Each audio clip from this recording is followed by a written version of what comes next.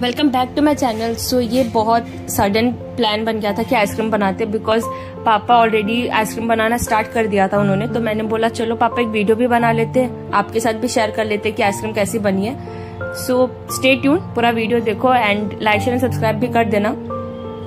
तो यहाँ पर पापा ने फ्रेश क्रीम लिया था एंड उसे वो अच्छे से मिक्स कर लिया पहले।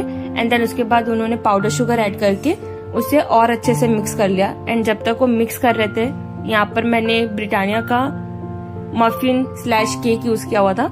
तो इसे मैंने हल्के हाथों से क्रम्बल कर दिया एंड अब हम इसे मिक्सचर में डाल देंगे। एंड ये ब्राउनी और मफिन जो भी आपको पसंद हो वो ऐड कर देना। तो इसको ऐड करने के बाद बहुत ज़्यादा मिक्स मत करना बिकॉज़ ये फिर एकदम डायल्यूट हो जाएगा। और फिर खाने के टाइम पे वो पीसेस नहीं आएँगे मुँह में, जैसे बाहर के आइसक्रीम में आते सो ये इसे अच्छे से मिक्स कर दिया। एंड यहाँ पर मैंने एनआईसी की आइसक्रीम ऑलरेडी मंगाई हुई थी। तो मैं यही कंटेनर यूज़ कर रही थी। तो इसे मिक्स करके पापा ने अच्छे से इसमें ट्रांसफ़र कर दिया एंड थोड़ा सा टैप कर दिया कि कोई अगर बबल्स वगैरह हो तो निकल जाए एयर वगैरह। एंड फिर इसके बाद मैंने इस पर फॉइल पेपर लगा के इसे ढक के रख दिया था। ओवरनाइट के लिए मैंने इसे फ्रीज कर दिया था।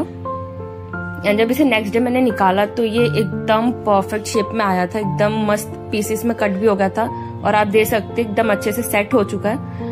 एंड ये खाने में भी बहुत सही था। लाइक बाहर की आइसक्रीम से तो बहुत सही था और हेल्दी भी था, घर का भी था। तो गिल्ट फ्री खा भी सकते हो। तो अगर ऐसी रेसिपीज़ और देखनी है तो चैनल को सब्सक्राइब कर देना लाइक कर देना।